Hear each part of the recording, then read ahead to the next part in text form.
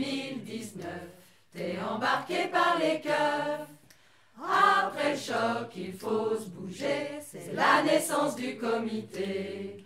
Nos cerveaux sont mutualisés, on se sent tous concernés. Les petites gens vont farfouiller, trouver des failles dans le dossier. N'a pas tué, n'a pas volé, mais a manifesté.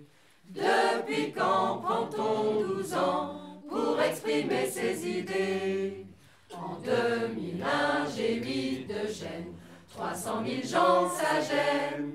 Ils viennent pour scander leurs idées, mais vont se faire torturer. Les policiers sont condamnés, mais restent en liberté. Vincenzo qui aujourd'hui encore et toujours poursuivi. N'a pas tué, n'a pas volé, mais a manifesté. Depuis quand prend-on 12 ans pour exprimer ses idées? En 2006, Milan tolère des faves qui crachent leur colère. Vincent et d'autres vont se soulever, vite on va les sanctionner. Cette peine, elle est déjà purgée, mais l'Italie s'arrangera pour ajouter ça au dossier. Qui est-ce qui bafoue le droit?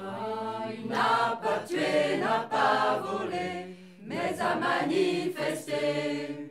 Depuis quand prend-on 12 ans pour exprimer ses idées? La France sera-t-elle complice d'une Italie hors la loi? De lois fascistes et d'injustice sans composer tes mandats. Ou soutiendra-t-elle pour une fois ceux qui risquent leur liberté? Ces alerteurs des dégâts que nos États ont engendré n'a pas tué, n'a pas volé, mais a manifesté. Depuis quand prend-on 12 ans exprimer ses idées N'a pas tué, n'a pas volé, mais a manifesté.